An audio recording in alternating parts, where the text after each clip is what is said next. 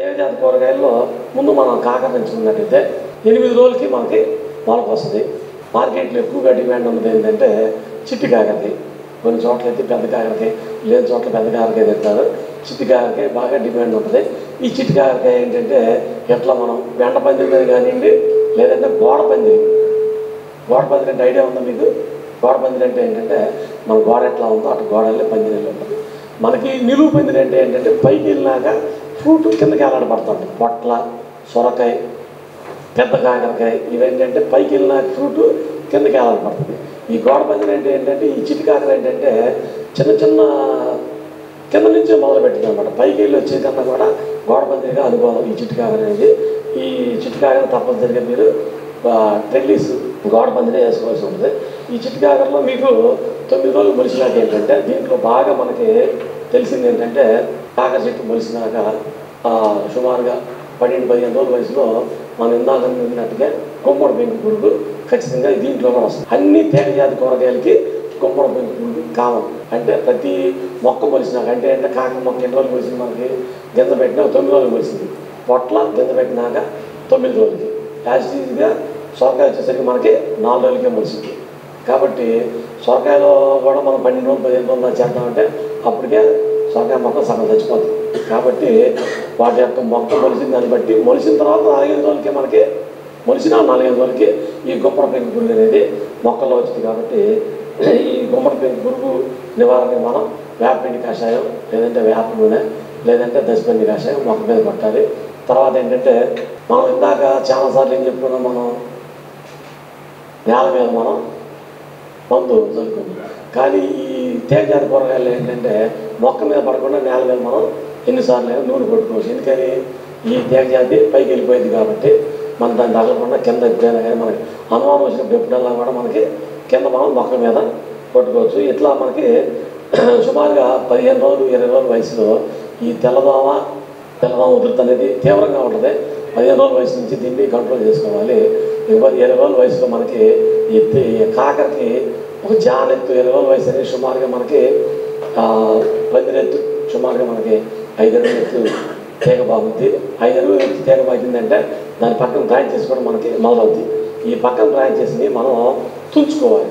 ఎందుకు తుంచుకోవాలంటే ఏంటంటే ఈ మొక్క ఏదైతే ఉందో దాంతో సమానమైంది దాని పక్కన ఒక మనకి జాన ఎత్తులోపు వస్తుంది అనమాట అంత అంతకన్నా పైన వచ్చి తుంచవలసిన లేదు.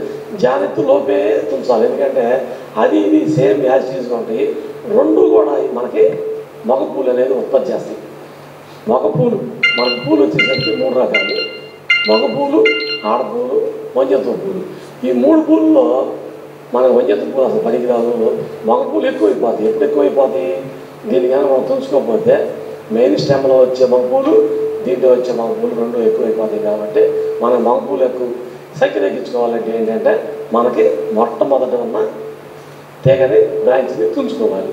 తుంచుకున్నాక పైన వచ్చే బ్రాంచెస్ మొత్తం వదిలేసుకోవాలి. ఇక మీకు పెద్ద కాకర మొక్క అయితే ఏం చేస్తారంటే పందిరి పైదాకా మీరు సైడ్ వచ్చే బ్రాంచెస్ మొత్తం తుంచుకుంటారు.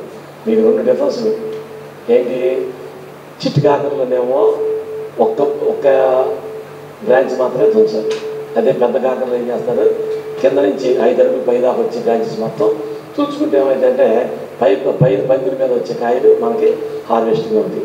అట్లాగా కింద తీగ తుంచుకున్నాక ఏంటంటే సుమారుగా ఇరవై రోజుల వయసులో మనకి పచ్చ పురుగు యొక్క ఉద్రిక్తి అనేది మొదలైంది. ఈ పచ్చ పురుగుతో పాటు తీగ జాతి కూరగాయల్లో పండుగ ఉద్రిక్తి కూడా మనకి ఇరవై రోజులు ఇరవై రోజుల వయసులో మనకి పూత పడుతుంది కాబట్టి ఈ పండుగ ఉద్రిక్తి కూడా మనకి వస్తూ ఉంటుంది పండుగ ఉధృతి కోసం మనం కాకర ఫ్లవర్ ఎట్లా ఉందో మనకి ఎల్లో ప్లేట్ ఒకటి. రెండోది ఏంటంటే గ్రీన్ ప్లేట్ ఒకటి. ఇంకోటి మనకి పండుగ బుట్ట మనం పెట్టుకున్నట్టయితే పండుగ ట్రాప్ అవుతుంది మనకి.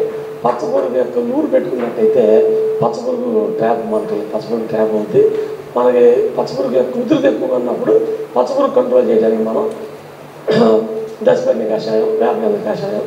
భగనే బాసి అనేది మొక్కల మీద స్ప్రే చేసుకొని సుమారుగా ముప్పై ఐదు నుంచి నలభై రోజుల వయసులో మనకి.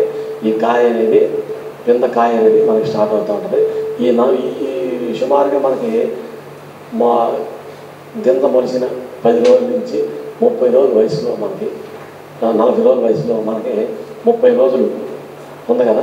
ఈ ముప్పై రోజుల్లో మనం కనీసం మూడు సార్లు మనం వారాన్ని అనేది స్ప్రే చేసుకోవాలి మీరు ఏ పంటకైనా సరే క్రాప్ కార్డ్ అనేది రాయాలి. క్రాప్ కార్డ్ రాసినప్పుడు ఏమైందంటే విత్తనం పెట్టిన తేదీ మొలిసిన తేదీ అన్ని కనుక మీరు ముందుగానే రాసుకున్నట్టయితే ఏమవుతుందంటే ఆ డేట్ మీరు దాని మీద స్ప్రే చేయడానికి ఈజీగా ఉంటుంది మీకు ఏంటంటే మనకి పోత పుష్పించే దశలోపు అంటే మీకు మొలిసిన పదిహేను రోజులు కనుక ఒకసారి కనుక మీరు బోరాలు కొట్టినట్టయితే ఈ బోరాలు అనేది ఏంటంటే మొక్కల్లో ఆడపుష్పాలు పెంచే లక్షణం ఉండటం ఒకటి. రెండోది ఏంటంటే మొక్కల్లో మీకు చిట్టాకు వస్తుంది చూసారు కన్నా? చిట్టి ఆకులు రెండోది కాయలు వంకర్లు పోవటం. ఈ అనేది కెమికల్ కాదండి. మూలకం. అది మైక్రో న్యూట్రియంట్ బోరాన్ అనేది మైక్రో న్యూట్రియంట్ ఓకే ఆ బోరాన్ అనేది ఏంటంటే మనకు మనకి మార్కెట్లో చిలేటెడ్ బోరాను ట్వంటీ పర్సెంట్లో దొరుకుతుంది మనకి. అంటే దాంట్లో ట్వంటీ పర్సెంట్ బోరాన్ ఉంటుంది. ఈ ట్వంటీ పర్సెంట్ బోరాన్ని మనం టూ పర్సెంట్ వాడాలి. దేంట్లో వాడాలంటే ఇరవై లీటర్ల నీళ్ళకి టూ పర్సెంట్ అంటే ఎంత? Forty grams. ఫార్టీ గ్రామ్స్ మనం ఒక ట్యాంక్లో పోసి స్ప్రే చేయాల్సి ఉంటుంది.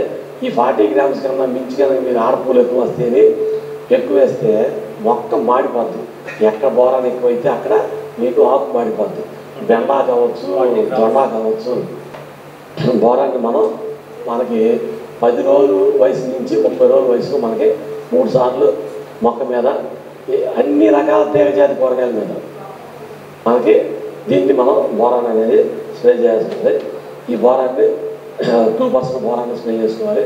మీకు నలభై రోజుల వయసులో మనకి ఈ ఫ్రూట్ అనేది హార్వెస్ట్ అయ్యేటప్పుడు ఈ పండు యొక్క ఉధృతి ఎక్కువైన కొద్దీ మనం ఏం చేయాలంటే వాటిని మనం తగ్గించుకుంటూ రావాలి. మన ఫ్రూట్ ఫ్లై ట్రాప్స్ మనం పెంచుకుంటూ రావాలి. మనం పండుగ పొట్ట ఈ రెండింటిని మనం పెంచుకుంటాం. ఎందుకంటే పండుగ మనకి కాకర బీరాల్లో తీవ్రంగా ఉంటుంది. విషపేరని కింద పోసావు దాంట్లో బెల్లం పాకం పోసాం అది విషపేర ఇంకోటి ఏమో ఫ్రూట్ ఫ్లై బుట్ట. ఈ రెండిట్లో ఏదో ఒకటి పెట్టుకుని వీటిని మనం కంట్రోల్ చేయొచ్చు.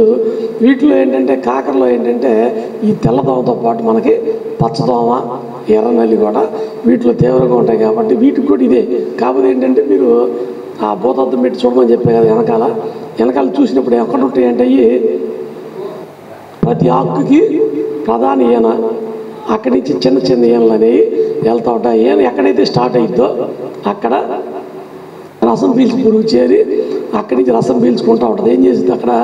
ఈయనలోకి వెళ్ళేటప్పటికే ఇది రసం పీల్చేయటం మూలన ఏమైందంటే ప్రతి మీరు చూడండి ప్రతి కాకరకాయ ఆకు పచ్చగా అయిపోద్ది. ఎక్కువ ఆకులు పచ్చగా అయిపోయింది అంటే దానికి ఇంకా వైరస్ వచ్చేసింది వైరస్ ఎట్లా వచ్చిందంటే మనకి టైఫాయిడ్ జ్వరం ఎట్లా వస్తుందో టైఫాయిడ్ ఫీవర్ వచ్చే లక్షణాలు ఎట్లయితే ఎక్కువ ఉంటాయో వీటిలో కూడా అంతే. ఎప్పుడైతే కలుపు మొక్కలు ఉన్నాయి కదా మనకి ఈ ఈ కలుపు మొక్కల్లో ఉన్న రసాన్ని పీల్చి అదే మూర్తి వచ్చి మన కాకర మొక్కల్లో రసం పీల్చిందంటే దాంట్లో ఉన్న ఆల్కలైడ్స్ దీంట్లో ఆల్కలైడ్స్తో సరిపడక దీంట్లో మనకి వైరస్ వస్తుంది. ఇంకోటి ఏంటంటే ముఖ్యమైన వైరస్ వాహకాలు ఏంటయ్యా అంటే ఇవే రసం పీల్చే పురుగులు. ముఖ్యమైన దాంట్లో పచ్చదోమ తెలదామా వైరస్ యొక్క వాకాలు ఇప్పుడు దాకా ఎక్కడ పీల్చి అయ్యి కింద మనకి ఈ మాచర్ల కంప అంటారు. ఆ మాచర్ల కంపలో అవి అవి రసం పీల్చింది ఆ రసం పీల్చి వచ్చి మళ్ళీ వచ్చి మన కాకర మీద రసం పీల్చేసరికి ఏమైంది? మన కాకరకి వైరస్ వచ్చింది. ఈ వైరస్ తట్టుకోలేని మిర్చి ఎట్లాగో కాకర కూడా వైరస్ తట్టుకోలేదు. కాబట్టి ఏంటంటే మనకి ఇవి తట్టుకోవడానికి వీటి మీద మనం ఈ దశపల్లి కషాయాలు స్ప్రే చేస్తున్నాము. ఇవి రాకుండా ఉండడానికి ఏం చేస్తున్నామంటే మనం వీటి యొక్క నివారణ మనం చేసుకుంటున్నాము.